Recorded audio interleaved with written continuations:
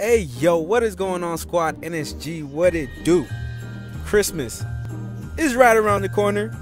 I hope you guys do have a great holiday, and I hope you guys enjoy your time with your family. But what I will be doing is giving you guys another episode of Madden Career Mode, and in this episode, we will going, we will be covering three games: two versus the Eagles, and one with the Giants. Of course, that Giants game is in between the two Eagles games. But we are playing right now in Washington. And the first play of that possession for the Eagles in the second half is picked off by our man. So you already see it's not a bad it's a bad start for the Philadelphia Eagles, who are 7 and 2. But they're not playing like a 7 and 2 team against the Washington Redskins as they are losing 10 to 0. And on the third and six, though, Philadelphia's Eagle quarterback does connect with his tight end Zach Ertz to make it a 10 to 7 game. Now late into the fourth quarter, on a first and 10, Eagles find themselves down by six, but a turnover here.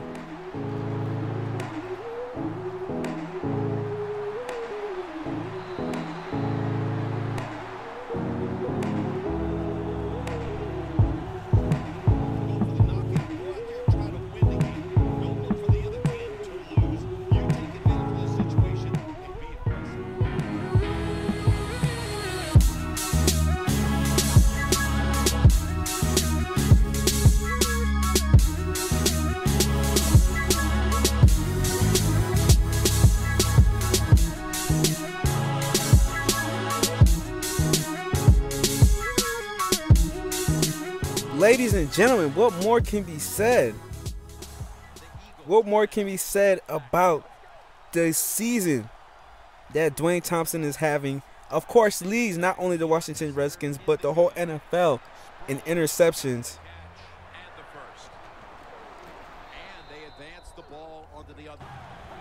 The Eagles are down by 14 late in the fourth. So basically, I could talk big. This game is already won. A drop pass there on third and goal. So the Philadelphia Eagles, they do decide to go for it on fourth and goal. And they do get the touchdown, but barely. Barely DeMarco Murray reached over the goal line. But it doesn't matter because we do end up winning the game. Look at Chips Kelly's face. He is so heated right now. We do end up winning the game 21 to 14 against the leaders of the NFC East. And the very next week after that, we are going against the New York Giants, who are also in the NFC East, who also we do not like. The New York Giants right now, they are 3 and 7. 3 and 7 this season. This season is not really going too well for them, and you can see why Shane Vereen is hurt. Matt Asio, whatever his name is, is a starting running back for the Giants, and he's only a 72 overall. And as you go to the wide receivers, they do have Odell Beckham Jr., but Victor Cruz cannot seem to stay healthy. He is injured. So is that why they aren't being as successful this season? They do have Zach Miller as their tight end, who's a pretty, pretty decent of a tight end.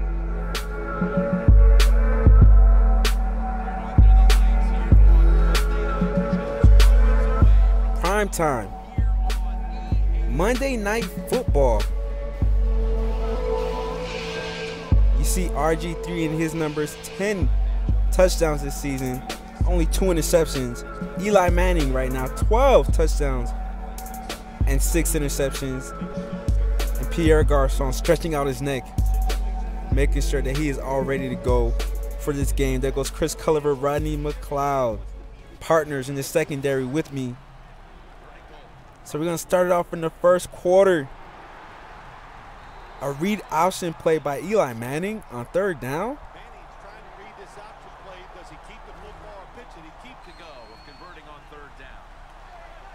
Started the second quarter. Third and six, we find ourselves down by three, but Eli Manning throwing my way. That's an automatic pick. trying to get that pick six. We didn't get the pick six there, but we gave our offense great, great field position at the 13 yard line. Eli Manning, you know better than throw my way. I'm the interception leader of the NFL.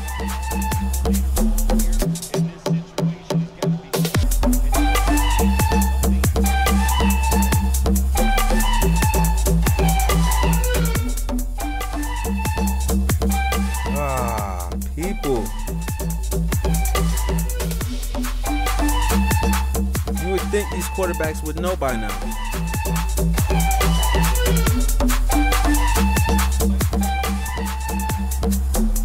So moving right along into the second half, facing a second and 10, finding ourselves down by four, getting that hit on the New York Giants running back, and that is Matt, the guy who replaced Sam Vereen after his injury, and he's injured.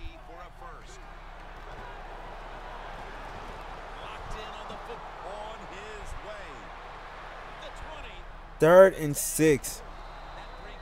What a huge game by the Giants. A great read by Eli Manning. And later on that drive, a second and goal.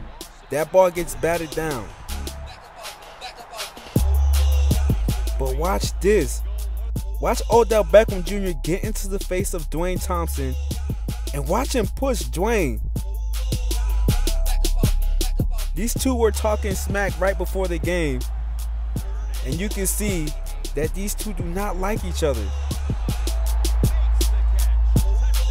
But the Giants do cap it off with the touchdown there from Eli Manning to Bernard to now go up by 11. But later on into the fourth quarter, we do find ourselves up by four. We just have to keep the Giants out of the end zone. But with Rodney McLeod getting mossed out of his asshole, how, and here it is, another another long pass play on second and 18. Rodney McLeod gets mossed out of his asshole again. Second and four, I could have gotten that pick, and if I did, that probably would have been pick six. But I did over pursue the ball, and it's a third and goal. We just have to stop him on a third and goal.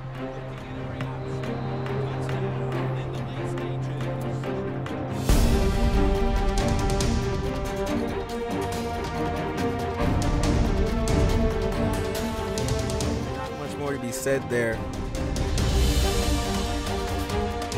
I got away from my zone, and Eli Manning does find his man for the game-winning touchdown, leading his team all the way down the field to get that game winner, which pushes us back from where we want to be.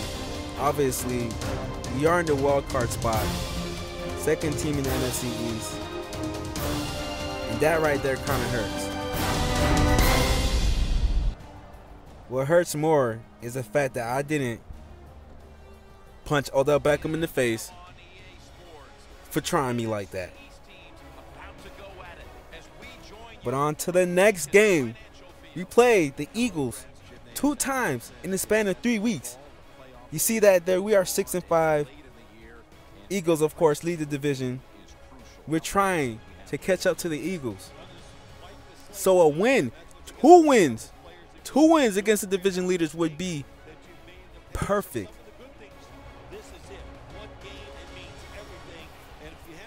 There goes DeMarco Murray begging. DeMarco Murray is begging Chip Kelly for him to play. Chip Kelly obviously in real life won't let DeMarco Murray play, so DeMarco was begging Chip to play. Second and 16. Philadelphia's Eagle quarterback is out there not knowing what the hell he's doing. Mind you, that the starting quarterback for the Eagles is hurt. So this is their backup quarterback, and he is running out there like a chicken with his head cut off.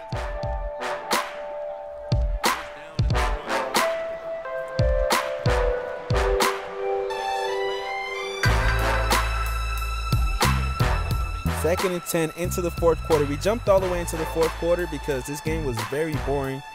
Not really much action. It was just the Eagles running the ball, trying to run the ball down our throats, but our defense, our run defense was too stout. So they started opening up the passing game. But on the first and 10, while you're trying to open up the passing game, Dwayne Thompson is stopping everything. That's three picks in three straight games. He had a pick last time against the Eagles, had a pick against the Giants. Now he has one in this game.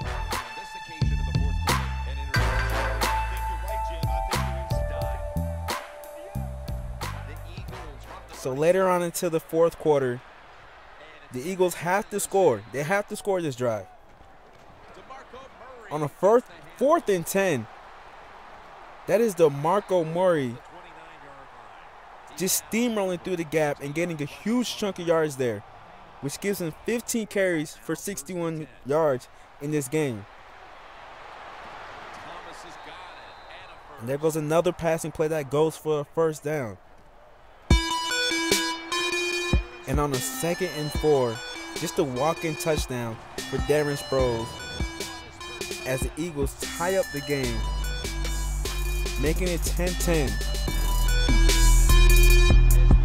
I think I ran a blitz that play, which left the flats wide open, and you could not leave Darren Sproles wide open.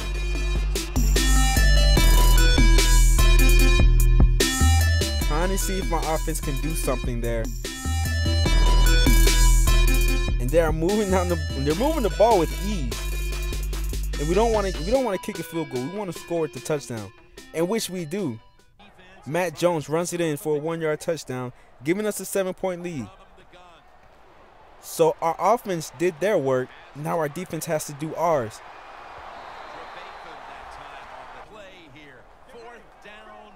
Fourth and one. Fourth and one. Another read option play that gets stuffed in the backfield, giving us the ball. Turnovers on downs. So there it is. This is just what we needed, but looking back to it, I wish, I wish we would have won our game against the Giants. That would have been three straight wins against division rivals. Do you know what that would have done for us in the playoff race? But nonetheless, getting two wins against the number one team in the NFC East, can't be mad at that, but wishing Still wishing we would have we would have won against the Giants.